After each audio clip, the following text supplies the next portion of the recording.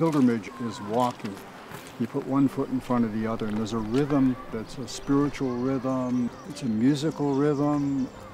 You kind of swing into step, and whether you want to or not.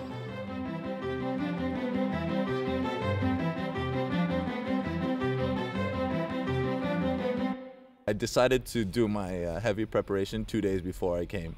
So I walked in Madrid for like 14 kilometers. So on the day I arrived, I took my shoes off and I had a blister on each foot on, you know, day zero. And I was like, okay, that's a good start. the reason why I decided to do the Camino was because my life was a mess and I had no idea what to do with my life. It's a spiritual journey. Pourquoi tu fais le chemin avec maman Parce que devait... Parce qu'on n'a pas le choix. Parce qu'on n'a pas le choix. I'm going to Saint-Jacques since I believe in God. Been having a rough six months with a lot of disease and family and stuff like that, so it's soul searching mostly. I graduated university. I'm not exactly sure what I want to do. I think the walk is a way of question of asking a question over time. when I first started, I was just walking, and people said to me, You will find the answer. And then I realized that I didn't have the question. I uh, was nearly two years in the war in Yugoslavia. Walking the Camino, it gives me time to think and to reflect on experiences in those days, bad experiences, and the good life we have. No es un paseo, no es un, un llegar a un sitio, es caminar, es vivir es mm, sentir. The Camino is a contradiction. It's friendship and it's being alone, it's culture and it's uh, nature, it's sport and it's religion, but uh, above all it's friendship. Y era pasar de vivir a 140 kilómetros por hora a 5 kilómetros por hora. Observas lo que no has observado nunca, la vida.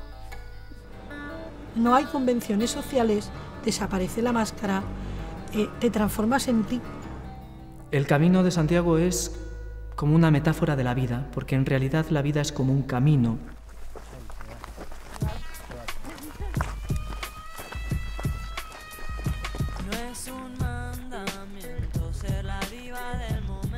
My name is Anne-Marie Müsse. I'm from Denmark and I'm 33.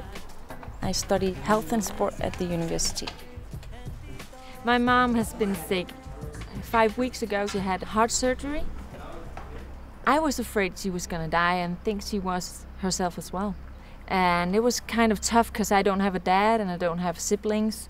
So I'm, it's just my mom and I. It's all right now. She's feeling well and she actually kicked me out the door, said, Go do this. This is gonna be so good for you. She was crying, but oh, go, go, go. I'm just looking forward to the time alone. That's very important for me right now.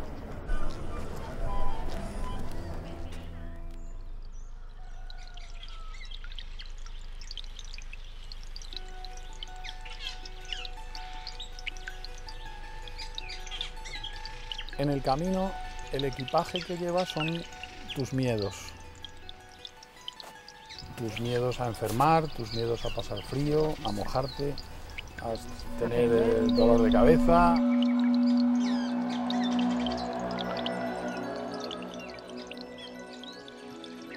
This is if, you know, you're sunburned and this is if you get bitten by a snake and this is in case the sun crashes into the earth, and this is in case of nuclear war.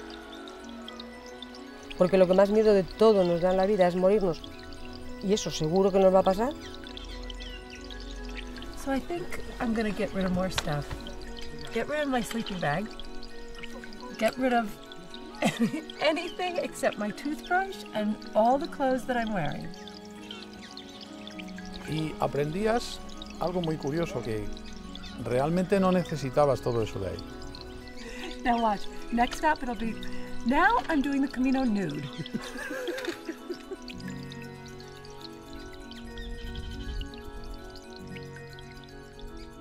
Y si somos capaces de desprendernos más, también somos capaces de compartir más.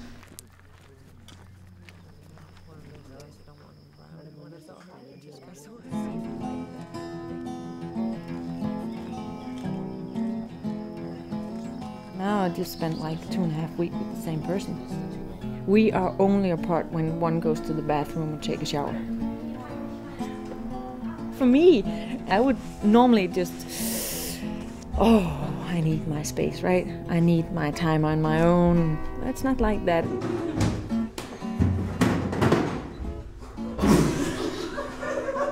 We laugh all the time. We have these very serious conversations as well.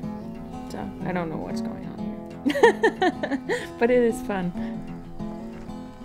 And I've also had those days where I'm like, oh, should I just move on on my own? Because I came here to do it on my own.